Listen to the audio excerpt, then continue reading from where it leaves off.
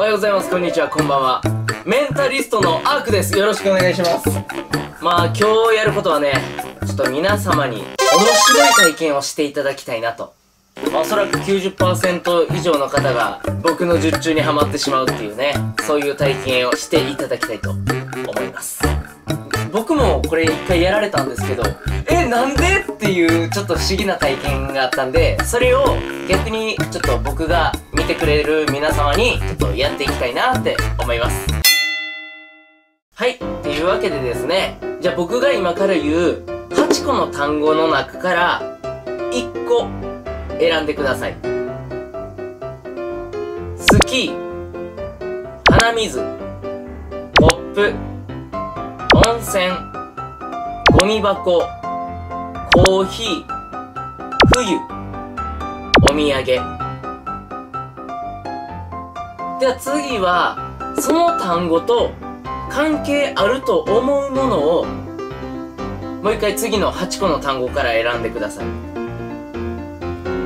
電卓雪針ティッシュ米まんじゅう牛乳電話。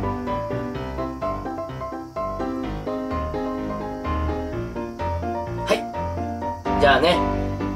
その選んだその単語めちゃくちゃ強くイメージして目つぶってもいいからイメージして。イメージしてイメージしてイメージして。はい。できました？じゃあ選んだそれをめっちゃイメージしながら8個単語言うんでまた1個選んでください。大きい遅い白い鋭い暗い。甘い。赤い。狭い。選びました？じゃあ最後にその特徴に当てはまるものを次の8個から選んでください。ナイフピラミッド砂糖亀犬小屋宇宙深海。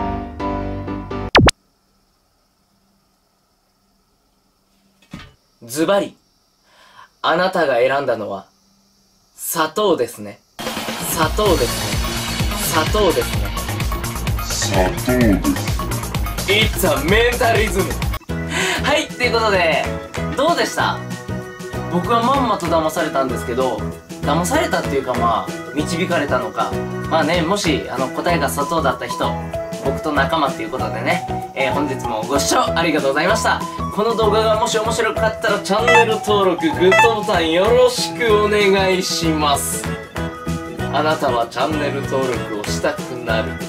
はいということでアークでした。ありがとうございます。